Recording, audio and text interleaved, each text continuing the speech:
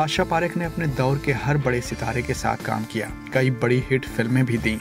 लेकिन अपने पूरे फिल्मी सफ़र में आशा पारेख ने एक सितारे से दूरी बनाए रखी। और वो थे ट्रेजिडी किंग दिलीप कुमार। दिलीप कुमार के साथ आशा पारेख ने एक भी फ़िल्म में काम नहीं किया। इस बारे में कभी इन दोनों की ओर से कोई रिएक्शन भी नहीं आया। लेकिन कुछ साल पहले ही एक फ़िल्म फेस्टिवल समारोह में आशा पारेख ने ये कहकर सभी को सरप्राइज़ कर दिया था कि वो दिलीप कुमार को पसंद नहीं करती। इसीलिए उनके साथ कभी कोई फ़िल्म नहीं की। हालाँकि आशा के इस कमेंट पर दिलीप साहब ने कोई जवाब नहीं दिया था। अब आशा पारेख ने ऐसा क्यों कहा, ये तो वही अच्छी तरीके से बता सकती हैं।